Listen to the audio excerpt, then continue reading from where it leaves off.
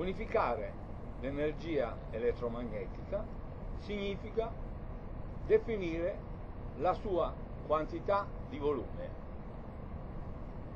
in modo da definire l'energia di quel volume elettromagnetico, ossia della massa di quel volume elettromagnetico.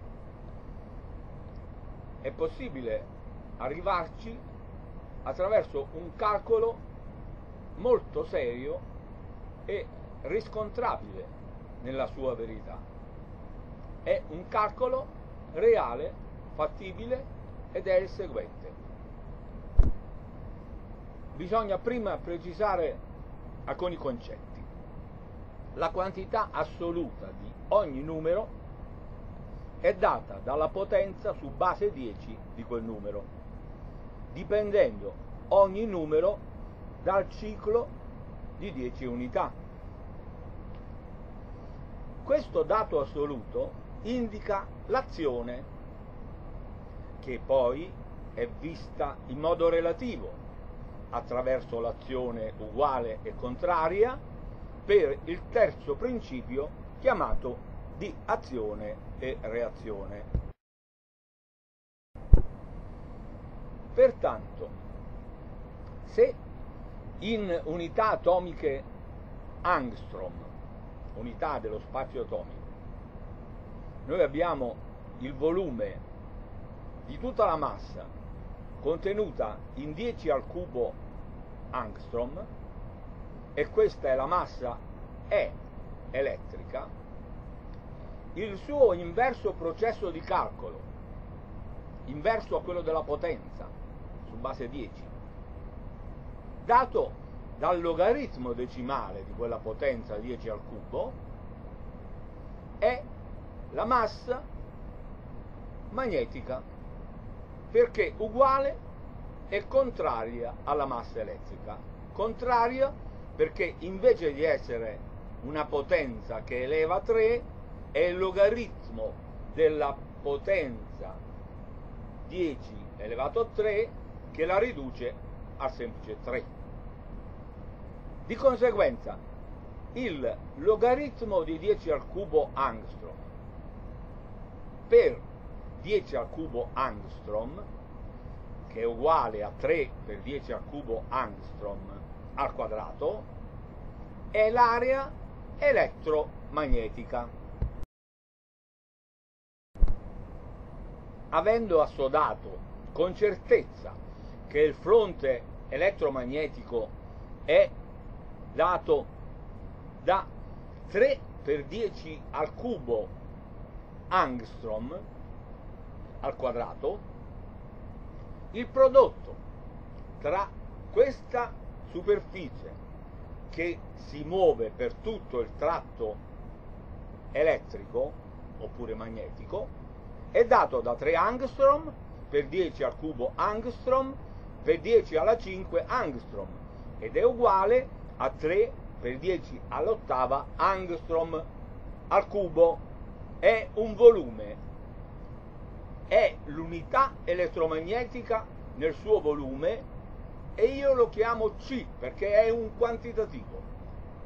Esso si velocizza nel verso elettrico o magnetico se lo rapportiamo all'unità del tempo alla dimensione atomica che è data da un secondo alla dimensione 10 alla meno 10 riportando il tutto alla dimensione unitaria, ossia moltiplicando tutto questo quantitativo per 10 alla 10, otteniamo la dimensione unitaria C grande data da 300 milioni di metri al secondo. È un quantitativo unitario di massa che ha questa velocità che corrisponde all'interezza del suo volume, perché il fronte di avanzamento teorico è 1 al quadrato. Ora, avviando questa velocità sia nel tratto elettrico sia nel tratto magnetico e sono in campo due velocità uguali e contrarie, noi ne abbiamo l'energia bilaterale perché mossa da una direzione in un verso e nel verso opposto simultaneamente. Quindi è una energia che linearmente è di tipo esplosivo e si chiama C grande al quadrato, espressa unitariamente in metri al quadrati al secondo quadrato, è unitaria nel quadrato di C grande, ossia in 9 per 10 alla 16 metri al quadrato ogni secondo quadrato. Io credo che non possano esservi dubbi. Chi potrebbe dire ma non è vero che il fronte elettromagnetico è 3 angstrom per 10 al cubo angstrom?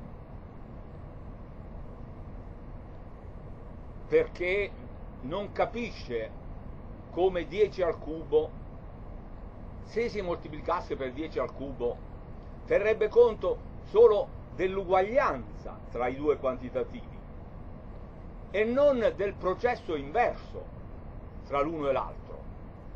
E quindi non arriva a capire che se uno dei due è 10 al cubo, ossia una potenza in base 10, l'altro deve essere il logaritmo decimale di quella potenza basata su 10, che contrasta a tal punto la potenza da togliere di mezzo la base della potenza per unificazione e in modo da lasciare liberi solo quel 3 che diventano i tre versi di spazio x, y, z in cui la massa 10 al cubo elettrica può muoversi simultaneamente.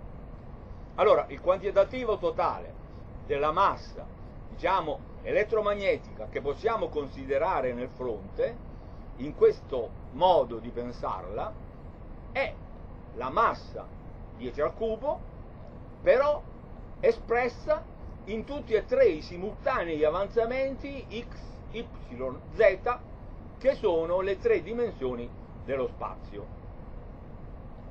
Ammassata questa massa simultanea elettromagnetica in un fronte, poi è evidente che lanciarla in tutta la direzione di tutto quanto il verso elettrico o magnetico significa lanciarla per 10 alla 5 angstrom. Anche qui non ci piove. Quindi il prodotto finale 3 per 10 all'ottava angstrom è veramente tutto il movimento che un fronte che se è unitario possiamo immaginarlo 10 al quadrato si muove nel 10 alla 10 che è la dimensione del metro. Infatti dividendo 10 alla 10 ossia un metro per il fronte 10 al quadrato quando è unitario nel suo ciclo 10 lascia un possibile percorso totale che è di 10 alla 8.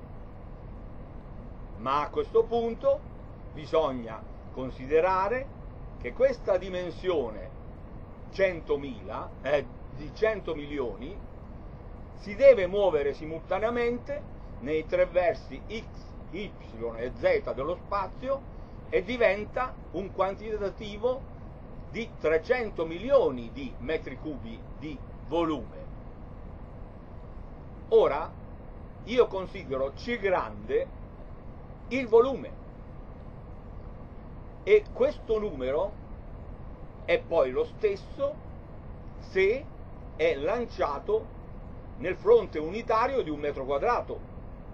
Perché se 300 milioni di metri cubi devono fluire ogni secondo ma sono obbligati a transitare per un metro quadrato rispettano il loro numero di 300 milioni, tutto sulla terza dimensione,